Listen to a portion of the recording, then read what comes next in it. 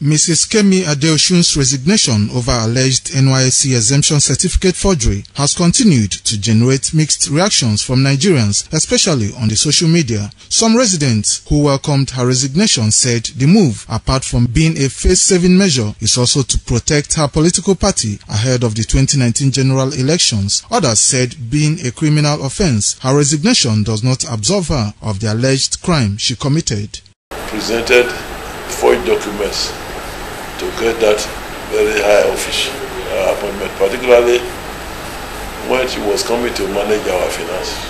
If you forge a document or you and you alter it to people in position so as to get, derive any benefit, and as a result of your altering the document to that person in position, you got the benefit. It becomes uh, a criminal matter. Resignation is a new era in Nigeria, and uh, the lesson for public office holders is that they should be very thorough with what they do. I think she took that certificate of uh, service for granted. That's why she was caught napping.